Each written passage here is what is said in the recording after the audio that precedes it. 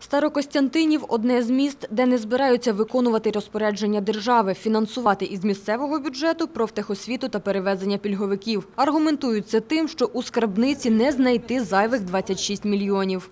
Нам потрібно тільки на професійну освіту майже 9 мільйонів гривень, на пільгове перевезення 10,5 мільйонів гривень. Не вистачає на заробітну плату освітянам. Таких доходів ми не маємо.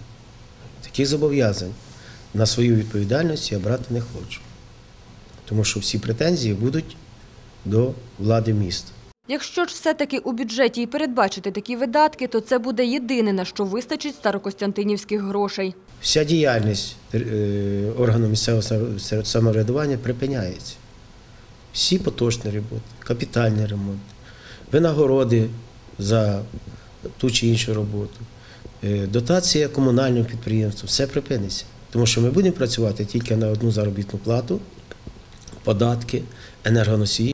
І так горе, і так біда. Проте у мерії вже почали шукати вихід із ситуації. Для компенсації пільгових перевезень адресна допомога, у крайньому разі відміна пільг. Для професійно-технічних закладів поступова передача їх на баланс міста. Але це не робиться тако в секунді. В нас немає таких коштів. Тобто, поки буде передача, дають вони цільову субвенцію на фінансування профтехосвіти. За цей період, вже починаючи з нового навчального року, вже органи самоврядування будуть бачити, які категорії, які професії чи потрібно. Тобто вивчимо ситуацію цю. Та це все має зробити держава, переконують у Старокостянтинові. Підтримують їхню позицію ще 35 населених пунктів. Всі вони входять у Хмельницьку регіональну асоціацію міст України і нещодавно на засіданні розглядали цю проблему. Дійшли висновку, що для початку фінансування профтехосвіти і пільгових перевезень немає юридичних підстав. Їхню позицію підтримала і Асоціація міст України, яка після детального аналізу законодавства не радить брати на себе обов'язки держави.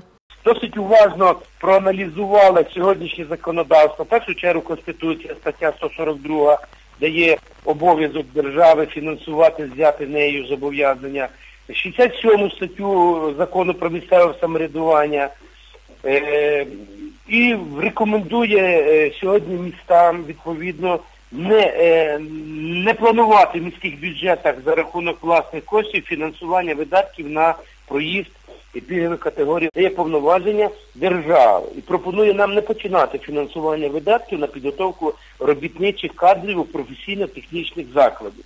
У департаменті фінансів облдержадміністрації кажуть, усе законно. І деякі міста вже почали, хоч і потихеньку, знаходити у своїх бюджетах кошти на профтехосвіту та пільгові перевезення. З розумінням багато міст віднеслися і вже на сьогодні в своїх бюджетах е, заклали кошти. Це, зокрема, і Хмельницький, і е, Славута, і Шепетівка.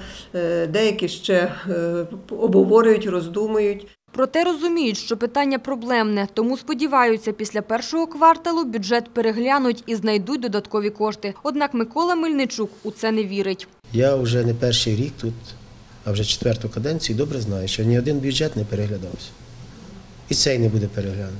Якщо тільки влізеш в це ярмо, будеш відповідати за відповідні дії, яких ну, неможливо виконати. Тож наразі Асоціація міст Хмельниччини готує звернення до уряду з вимогами виконувати ті зобов'язання, які на нього покладені. Держава прийняла закон щодо перевезення. Держава прийняла, ми приймаємо сьогодні рішення. Тому ну як я можу взяти на себе видатки, які прийняла Верховна Рада, і не дала нам статтю доходів, яка могла б компенсувати ці, ці видатки.